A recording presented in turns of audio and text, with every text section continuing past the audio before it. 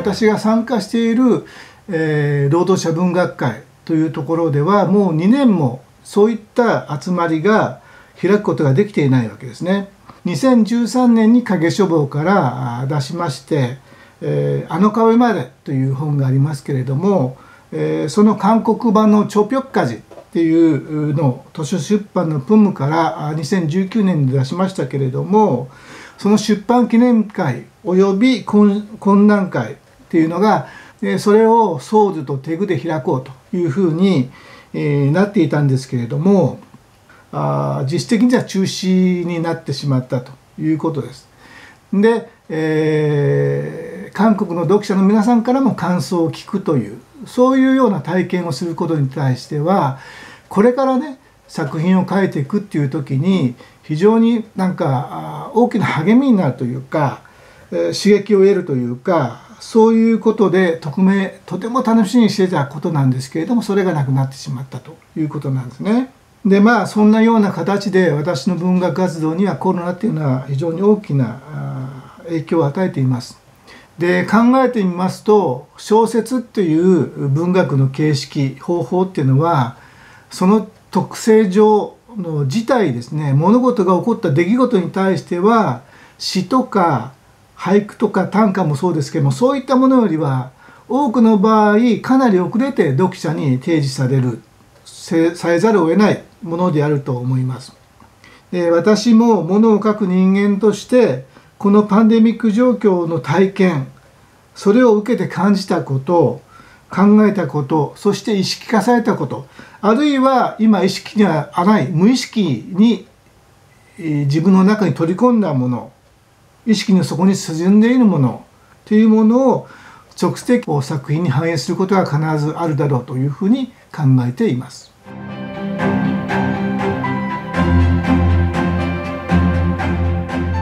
つまり私のアボジは日程、えー、植民地時代の朝鮮に生まれて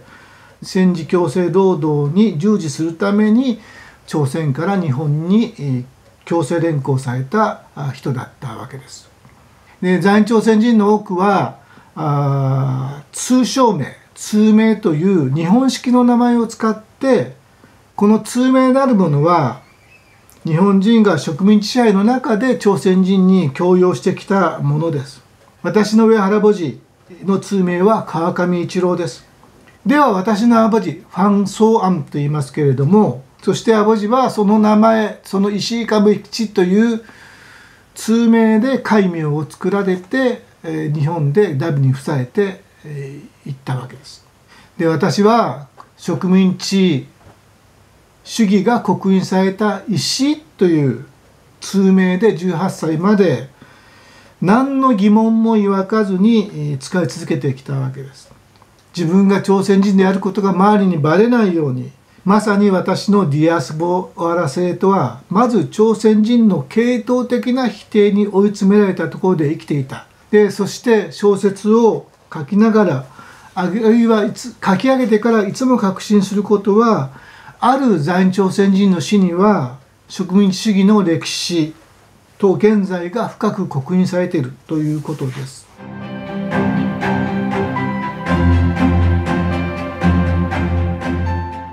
トングテ発挙の日本学研究所翻訳総書の一冊としてポゴサから翻訳出版された「前夜」という作品です。植民地主義が蔓延し凶暴化さを増している日本社会を描こうとしたものです。朝鮮籍は朝鮮学校の学生の後ろにつけ嘘をついてもダメだ調べはちゃんとついている正直はお前たちを自由にするいろんな声がさまざまな命令を出し隊列を組み上げる怒号ではなく事務的な調子それが余計に不気味だった選別だ次に紹介するのは「あの壁まで」という作品です。パッチョン非軍事独裁政権の維新体制の時代で民主勢力に凄惨な弾圧が加えられている時でした。もしもしこちらは韓国大使館です。低いほとんどの余りのない日本語。お父さんが今夜7時釈放されます。おめでとうございますそれだけ言ってすぐ切れたアボジが釈放アボジが生きている主に私は部屋を飛び出した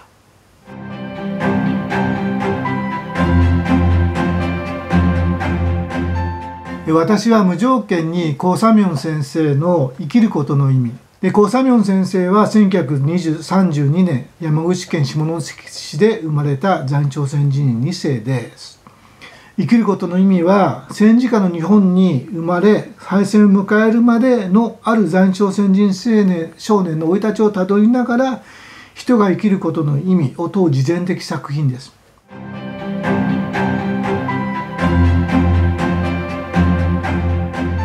パン・ソギョン先生の作品は比較的たくさん読んできました。でまたあのチョ・ジョンネ先生の「テベク山脈」は圧倒されながら読んだことを覚えておりますしまたヒョン・ギヨン先生の「スニおばさん」スニサムチョンですね、えー、これも非常に感銘深く読んだところです。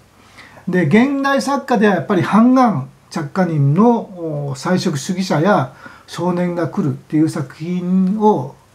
非常に、えーまあ、舌を巻きながらあ読んだということです。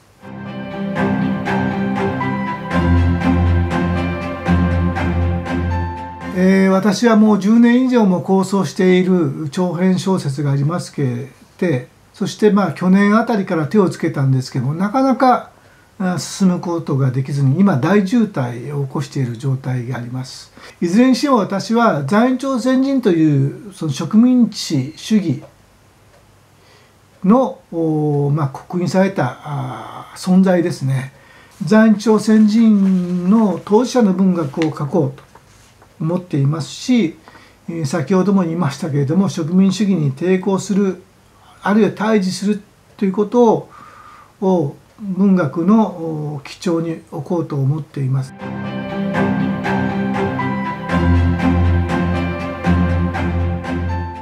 格差や差別ガラスの天井や文化的性的多様性への抑圧などどうしようもない現実不条理がまかり通っているのがこの時代だというふうに私は思っています。しかし文学は人間がこのような不条理な状況にあってもなお人間としての正気を保つために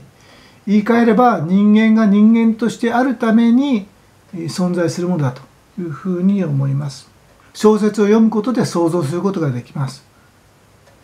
小説の中の彼彼女らと連帯することができます。それはひいて言うとまだ見ぬ人々不条理の中でも人間らしく生きようとしている人たちと連帯することだというふうに私は考えますですから小説を読むということを諦めて諦めないようにしてほしいというふうに心から願いますし私も皆さんが読むに足る作品を生み出せるように努力していきたいというふうに思っています。えー、長い試合、えー、長い時間ありがとうございました。감사합니 다。 건강하십시오。